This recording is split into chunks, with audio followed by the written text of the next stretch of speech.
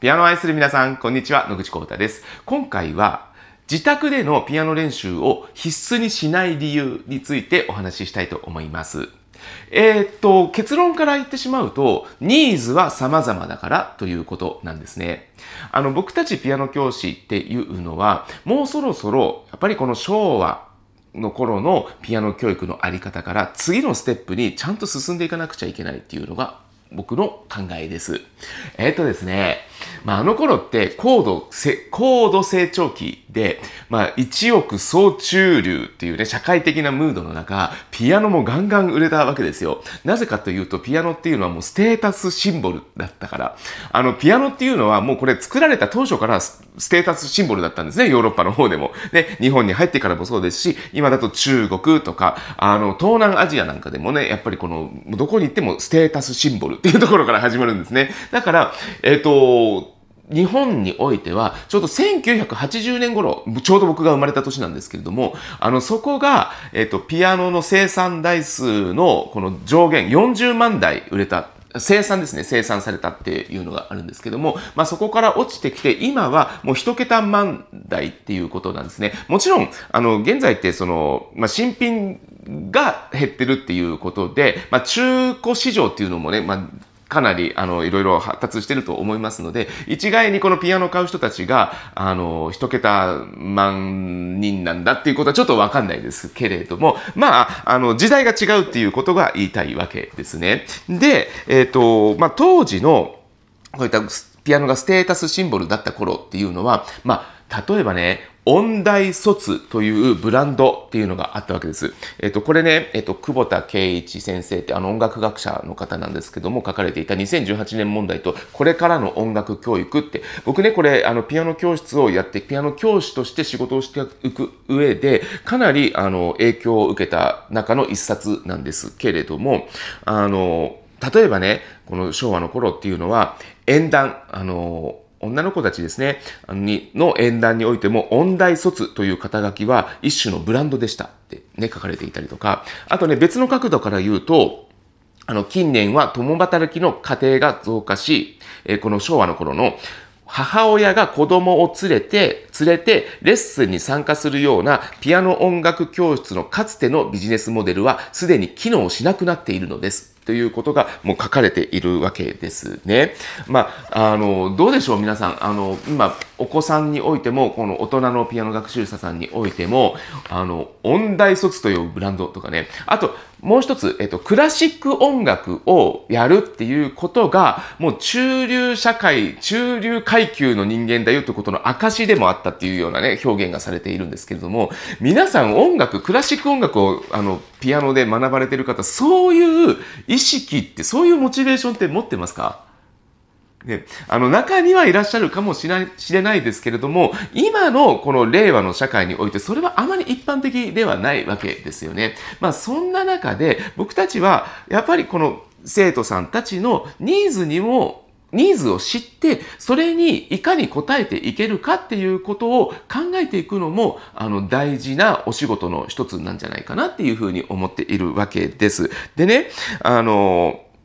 結局この本の中でもあの最終的に問われるのは自分が音楽をするということがどういう何のためなのかとかその音楽教育っていうのが自分にとって何のためにすることなのかっていうことを自分なりの答えを持ちましょうよっていう本でもあったりとかするわけなんです。そうした時に今ピアノを習いたいという人たちのそのニーズっていうのがもう様々なわけですね。自宅で練習するという時間は取れない。それは子供も大人も関わりなく一緒なんですけれども、あの、だけどやっぱりピアノというものを学んでみたい。ね。だったりとか、あともうそもそもピアノが家にないっていう人もいるわけですよね。これ、昭和のピアノ教育だったらありえないんです。もう、ピアノを習うんだったらピアノを買うの当たり前でしょ。アップライトピアノ買って当然っていうムードがありました。まあ、実際、えっ、と、かなりアップライトピアノ普及しましたからね。今ね、あの、その過去に買われたピアノで眠っている状態のピアノっていうのがもう1000万台ぐらいあるっていうのが、まあ、この本、あ、この本2017年に書かれているので、あの、ちょっと今とはデータが違うとは思いますけれども、まあ、それぐらいあったって、あるっていうことなんですけれども、まあ、それが、まあ、あの、普及してたっていうことでもあるんですけれども、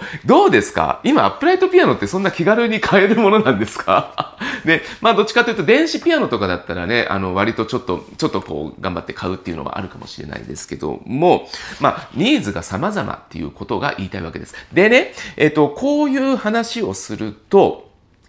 定数必ずあのいただくコメントとして、あの、自宅での練習をさせない、しなくてもいいっていうのは、ただもう客を集めたいだけだろうとかね。あと、お気軽なピアノ教育をしているんですねっていうようなコメントっていうのがついてくるんですけれども、まあ、他の先生たちわからないですけれども、僕たち、あ、こと、えっと僕、それからめいこ先生、ゆみ先生でね、言ってることっていうのは、僕たちは決してこれはね、楽なことではないというふうに考えているんですね。むしろ、練習してくる生徒さんの方がレッスンは楽なんですよ。ね。あの、なぜかっていうと、そもそも、ピアノのテキストっていうのは、ある程度、あるいは十分な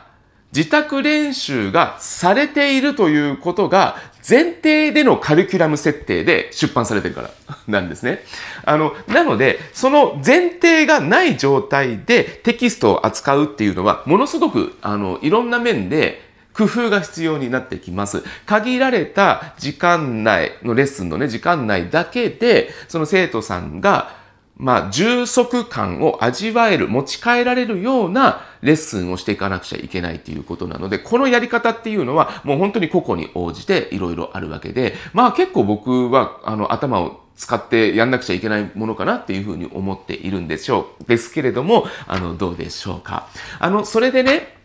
じゃあ、なぜ、えっ、ー、と、そんな、その練習をしなくてもいいっていう、あの、ことを言ってるか、ニーズに応えるっていう、その目的は何なのかっていうと、これはピアノを愛する人たちを増やしていきたいからっていうことがあります。あの、これね、面白いんですけども、意外とこの練習をあんまり時間がないからできないって言って始められる生徒さんでも、レッスンでこのピアノの楽しさっていうことが腑に落ちて感じられるようになると、これはね、弾き始めるんですね、自宅でも。これはね、弾くなと言っても弾くんですよ。で、なんか、ストリートピアノ行って、この遊んできましたとかって、こう写真とか動画が送られてきたりとかね、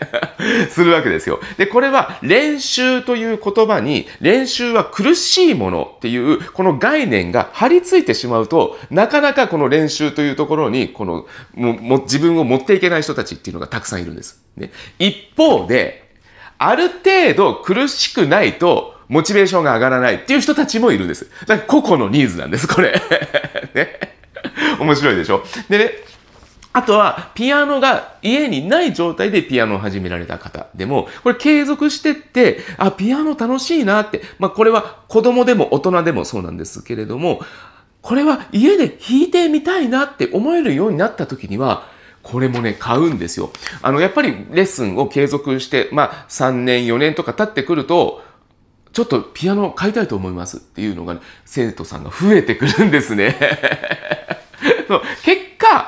自宅でも弾くようになるっていう、そんな面白い、あの、実、事実もあったりとかします。えっ、ー、と、とにかく僕たちピアノ教師っていうのは、ピアノというものを通して、その皆さんと繋がっていきたい、社会と繋がっていきたい、社会にすごくいい貢献をしていきたい、誰かのために、その自分のピアノというスキルを活かしていきたい、そういう思いでやっている。だからこそ、この練習というところにあまりこだわりすぎない考え方ということでした。はい。えっ、ー、と、最後までご視聴いただきありがとうございました。高評価ボタン、チャンネル登録ぜひお願いします。それではまた別の動画でお会いしましょう。バイバイ。